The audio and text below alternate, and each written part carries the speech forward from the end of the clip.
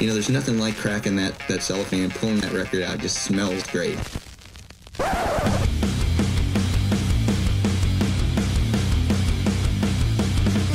Welcome to Bod's Mayhem Hour Non-stop hardcore energy. I love the show, guys. You're awesome. Unlike any other. with your host, John the Bod, aka the Bodfather. Man, this stuff rocks. Hey guys, this is Marcel from Sullen. This is Bod's Mayhem Hour.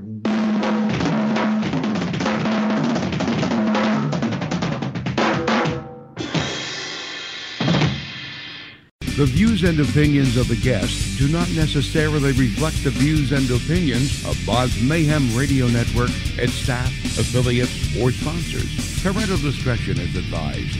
Welcome to Bod's Mayhem Radio Network.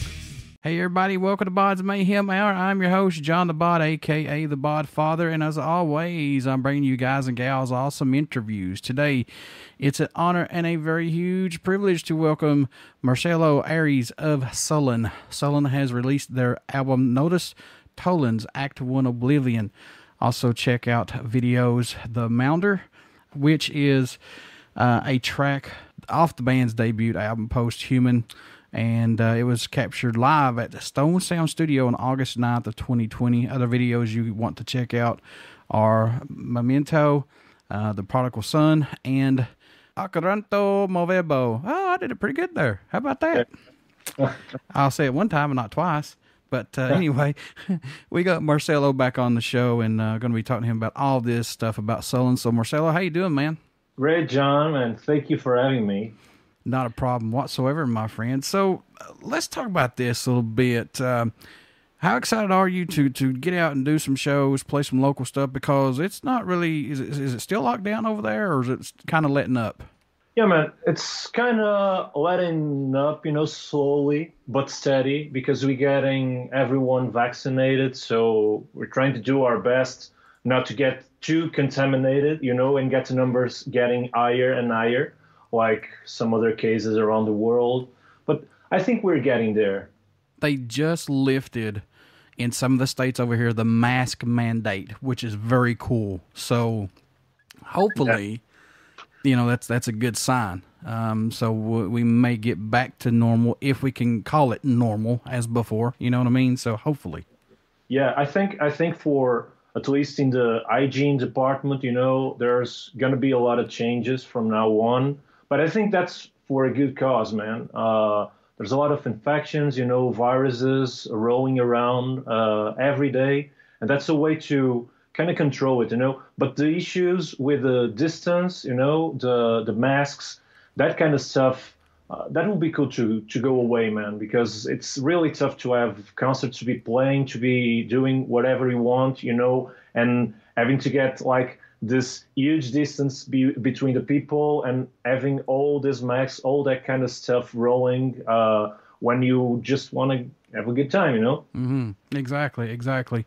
Now, did you find yourself doing anything differently other than just working on music, such as like collecting or catching up on anything, or was it just strictly, let's get this album out and, and get it out and spread to the masses? Yeah, I was mostly focused on music related stuff. Uh, uh, because I'm also a, a drum teacher and uh, I give a lot of uh, lessons, drum lessons. Uh, the only difference was that I, I, mostly focused on Portugal in terms of students. but then, as as we had a lot of time in our hands, and I tried to to work everything around this this old Skype and Zoom things, you know, and try to spread the word as much as possible to reach for everyone interested in doing this kind of stuff and I have the privilege to work with a lot of people from all parts of the world, you know, from Africa, from South America, from other parts of Europe.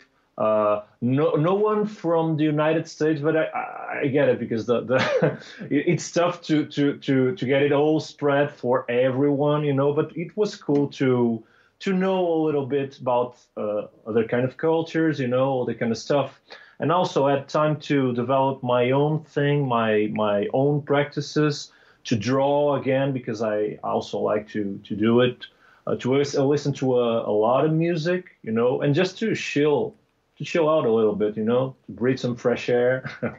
try Yeah. to to stay cool. Yeah, just to take a step back and, and just relax and, and do stuff that you want to do and not be on a fast paced scale all the time. Yeah, exactly. It's cool, man. How does it feel to see all these people, especially little kids, man, who are, who are wanting to take up drums and take drum lessons, man? What do you see in these kids, man, when you when you're watching them play and, and learning from what you're teaching them?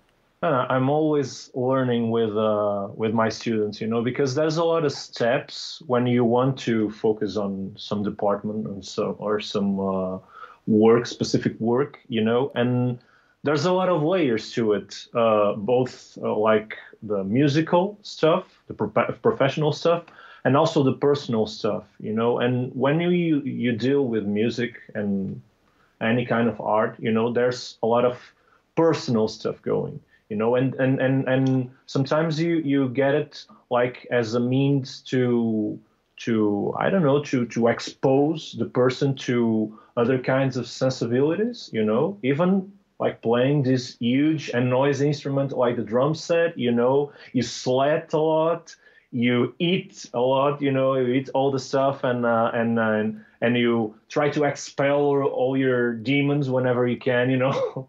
So it's it's really cool on that side. And um and it's also a good way to to to challenge the people to to be a, a lot more aware of the intricacies of the of the music itself you know because nowadays we live in a reality where the the people tend to the attention span tends to be a lot, but like by a huge margin.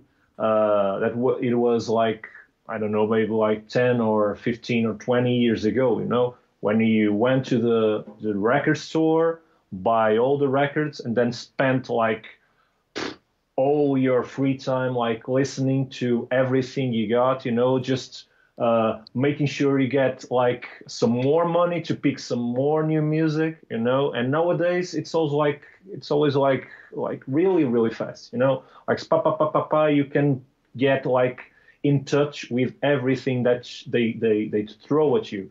And this way it's really cool because you you keep the pace down, you know, and try to to to make them like focus on every detail regarding the the music uh, department, you know, and it's really cool to to bring that kind of awareness to people.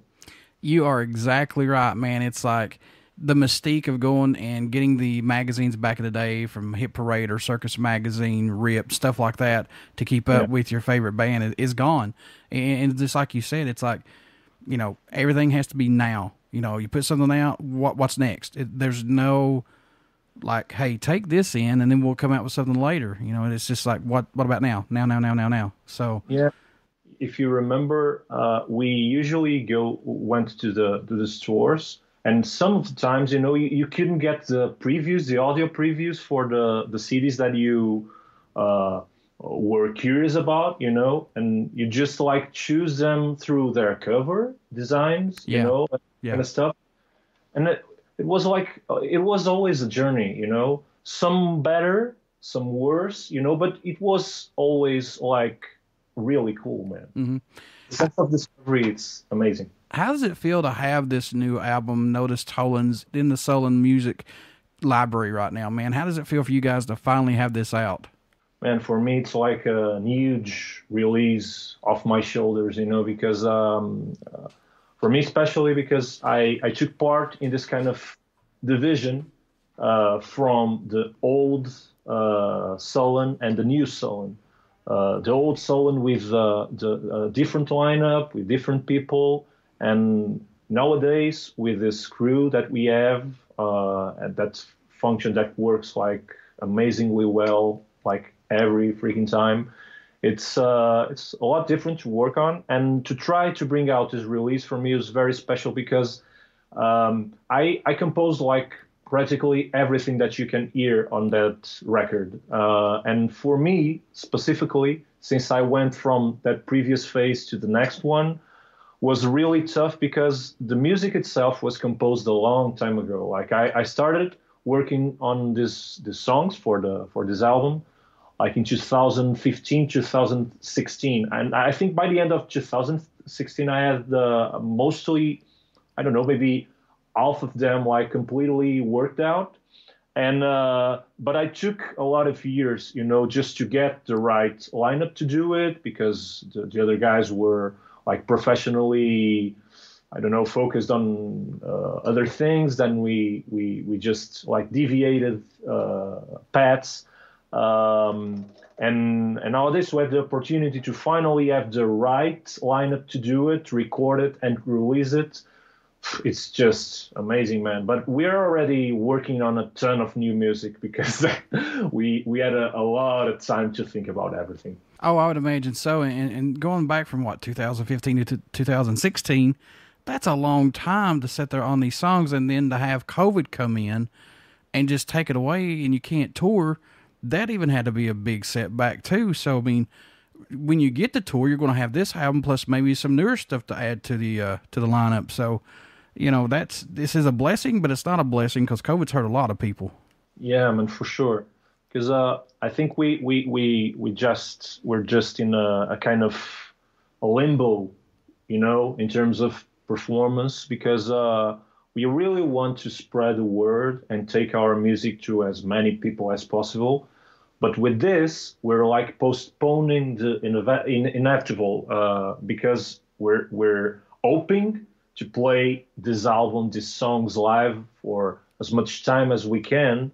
But as you said uh, correctly, uh, we when when when that time comes, we we we will have more stuff rolling for sure, you know, and we're we're gonna uh, have like this huge will to to to bring it out too. So I don't know how to, uh, how it will be, you know, uh, by the end, but I don't know for now, I just wish to uh, for an opportunity to take this take this out, take this around the world, and have a, a blast doing it with my crew. What has this new lineup brought to Sullen that may have been missing? Possibly, is this lineup more hungrier than maybe say the previous lineup? Possibly, maybe. Yes, I would say that because the one of the issues with the old lineup was that uh, not everyone in the band was like uh, 100% devoted to to music, both personally and professionally. They they did uh, some other things that like the the normal, if you can say so, jobs, you know. And uh, nowadays we have a lineup that's like whole body and mind uh, dedicated to uh, to music, you know.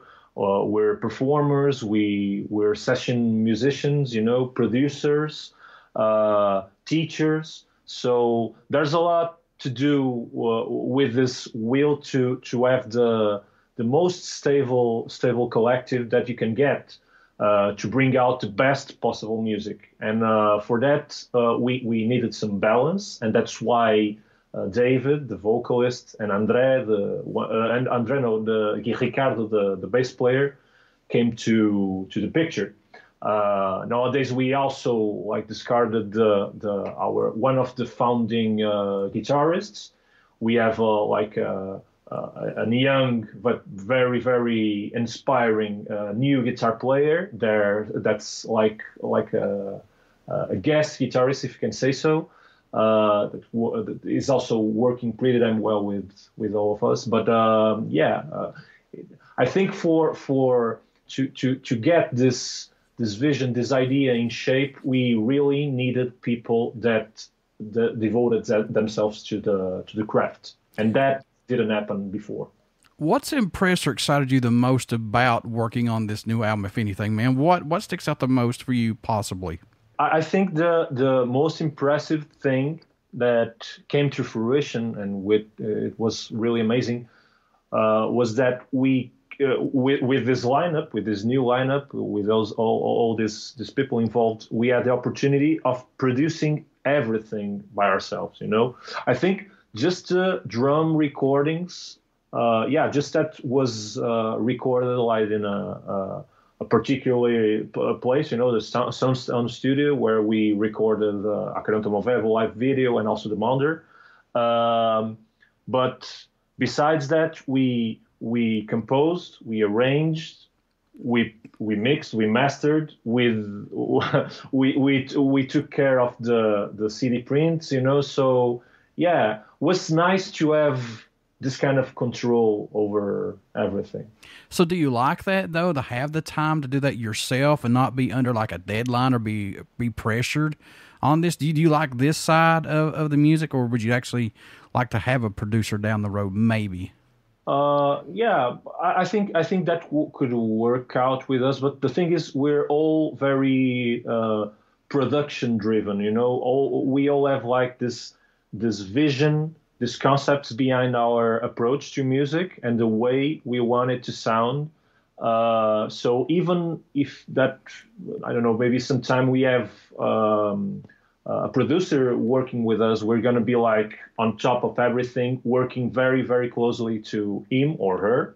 Uh, to get everything the way we we really want, and for us, and during this this this this perilous times, you know, with COVID and everything, was nice to have all the time of the world to do everything we needed. Yeah, and especially when you have a band member who can produce albums like this, like you guys just did with Ricardo. That's that's pretty cool, actually, to have that in house. Yeah, yeah, that's amazing. He's a he's an amazing he's the amazing producer, an amazing musician. He's a multi instrumentalist that. Uh, is is is actually a, a, very very good classical and jazz pianist, but it's is is also playing like uh, electric guitar in one of our our like side projects, and of course he rips everything playing bass in solo and produces like this monstrosity that you that you can hear in uh, Nodus Tollens. So we're very very glad we have him in our team any tracks standing out more to you than any right now on the album? I know it must change every time you listen to it because these are your babies, Marcelo. But do you have any that, that stand out for you? Uh, it's it's tough, man. Um, but uh, because they, they, they all have a, a, a very different meaning. Uh, maybe the the maybe Memento would have to be the one that speaks for me the most, you know, because he, he talks a lot about some of my experiences uh, back in the days, like high school days when, when I was developed my personality and all that kind of stuff, the things that I've seen, that I felt, the traumas and all that kind of stuff, you know, those turmoils. Um, but in terms of, I don't know, maybe thinking about a, a, a, song that we or or spe- specifically me uh, wants to to play live, I would say like maybe human in that department. Was there a song that you were working on that totally ended up sounding different than it was intended to? I mean, was there one that took a totally ch- a different change than it was brought to the table? No, no, because um, uh, we, as I said before, we think about every freaking detail you can think of uh, uh, during the, the, the composing and the arrangement process processes. You know, specifically me or mostly me in this in this particular record. But um, but yes, even in terms of sound, the when we we actually went to record the final product, everything was almost in the the right spot. Of course, there's always one detail here and there, some things that you add up, but uh, mostly like like really intimate details, you know, like mm. tiny tiny little things. Was there any songs that didn't make this album that we could see down the road on an EP or another album, or or no? Are these just ones that you just put out and be done with them? Yeah, that, that, that's uh, the the, the funny thing about this record is that uh, we actually have like the second half of it, the act two, like like like like mostly finished. You know, we're just like recording some extra stuff, acoustic stuff, uh, but it's mostly like ready, ready to go. So uh, yeah, we we we decided in a, in a I think in the the the the first time we we thought about uh, the release form, you know, um, we thought about uh, releasing everything. We had like 16 songs or something like that. Uh, we still have, of course, but uh, now the first eight are released in the form of Act One, and uh, and I think the the rest will be uh, in the form of Act Two that we reveal uh, very very soon, as soon as we can. So let's see how everything unfolds. See, that's what I'm talking about. This pandemic has been good for bands because they can work on a lot more stuff and I'm really anxious to see how much songs come out after this, but you know just as well as I do because you're a musician, these songs may not even come out because we're in a, we'll be in a different time frame with that, if that makes sense, you know, in a different zone, I should say. Because Yeah. every song that is left sometimes don't make it because they're just in different places these guys are. Yeah, I, I, I've been thinking about that lately because, yeah, starting to feel that way, you know, like, uh, like I don't know, uh, it's it's like a nostalgia trip. It's really cool because you remember all the processes, you know, all the things that you thought about when you when when for me, for example, I I wrote uh, most of that stuff and uh, and nowadays I'm just like mostly looking to the future, you know, and aiming for new stuff to create more stuff, and that starts to to the old stuff starts to to to get a, a little bit of dust, if you know what I mean. Know? And you when you get back to it, you just feel like okay. Uh, uh, I don't know how, how, how, how it's cool because it works. Uh, it's it's it, uh, we did our best to, to to get it like sounding the way that we really really wanted. But even so, uh, it feel it feels a, a little bit out of not of not out of place, but out of time. You know. What do you hope everyone takes away or message you hope they hear while listening to this album or any of Sullen's music in general, Marcelo? What do you hope they get from it? Oh, inspiration, man. Most of all, you know, to get inspired to, you know, to to to to open themselves to all kinds of life's experiences, you know, uh, human experiences, social experiences, to enjoy life as much as they can. But because the the, the message on Sullen is is all, it talks a lot about that. You know, it's always about renewal. You know, discarding the old stuff, the, the bad stuff that, that you went through, or maybe went through, uh, and try to, to to give your best to to to enjoy your life as much as you as you can. You know. Does it kind of take you guys back though when somebody comes to you and say, "Hey, this song made an impact on me and it it helped me through a difficult time"? If that's happened, man, what goes through your mind when you're told that? that's the most amazing gift that anyone can give us you know because we try to share our our experiences with them through uh, this kind of like uh, abstract sometimes uh, lyrics and and human concepts and ideas and all that kind of stuff. And to feel that we could uh, add like uh, an end on someone's life uh, experience just to to to uh, help them overcome some troubles that they're having. It's like really really nice. Because i also had like songs uh, and and pieces of music throughout my life that really helped me during my my most like depressing depressive days you know?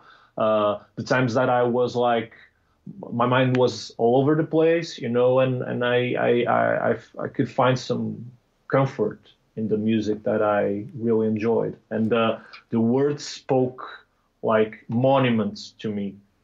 So, what albums or songs you had to have, man? Me especially. I, there's albums I can't go without listening to each other week. You know what I mean? So, what Yeah. what was it for you? What what albums did you have that you had to listen to every other week, possibly? Oh man, that's a very tough question. I don't know uh, because I, I I have a a ton of music that I, I listen to or try to listen to every day, uh, and I'm speaking like uh, things that I brought with me for like over a lot of years now. Um, but I think I'm gonna speak like for for artists, uh, not specific albums, because I tend to listen to a lot of stuff from a specific artist when I really connect with them. So I would say like uh, the Opeth stuff was always like uh, uh, a go to me and uh, a lot of progressive stuff. I really enjoyed all the discography from Textures, a band from the Netherlands. Uh, I don't know, man. But I also find myself returning to the to, to good old days of progressive rock, symphonic rock, like Jethro Tull, Yes, Camel, and all that kind of stuff. And I, I don't know, man. I I, I can spend like a month without listening to it. So it's a it's a very tough question. very very tough. Marcelo, how can folks stay in touch with you guys? Buy this album just to say hello or buy some new merchandise, tour dates, all that good stuff. How can he do that? Okay, you can find us uh, on all social media. Uh, just search for Sullen PT. You can also check out our Bandcamp, sullenpt.bandcamp.com, uh, when you where you can have like uh, all the digipacks, bundles, merchandise, whatever and you can support the band, and we really, really appreciate it. And also, uh, you can check, check out our our official website www.sullen.pt for everything regarding the band. And before I let you go, good sir, would you care to do a promo for my show? Because I see you're sitting on the drum kit there. Yeah.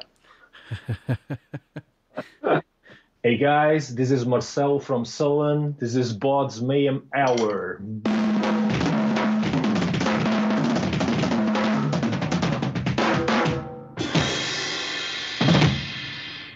Everybody stick around. We got some great, great stuff coming up, and you only hear these interviews right here on Bod's Mayhem Hour and Bod's Mayhem Hour podcast. Please get out and check out our Facebook page. It has our podcast link and our YouTube link, and you definitely want to subscribe to the YouTube link because we've got lots of things coming down the pipe for Bod's Mayhem Hour. Also, get out and pick up Sullen's Nodus Tollens Act 1 Oblivion. It's already out right now, and you definitely, definitely want to check out their singles Memento and The Prodigal Sun get out and check their stuff out. You will not be disappointed.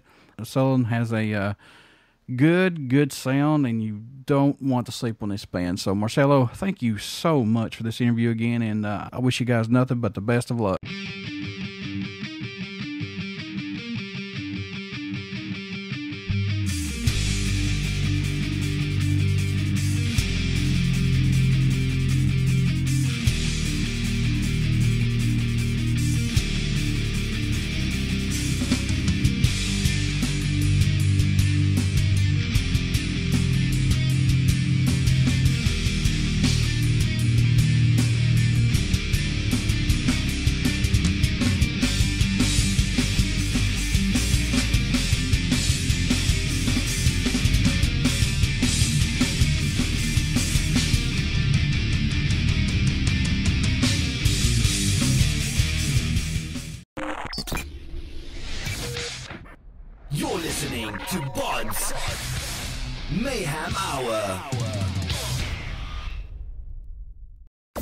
On Facebook, Twitter, and Instagram.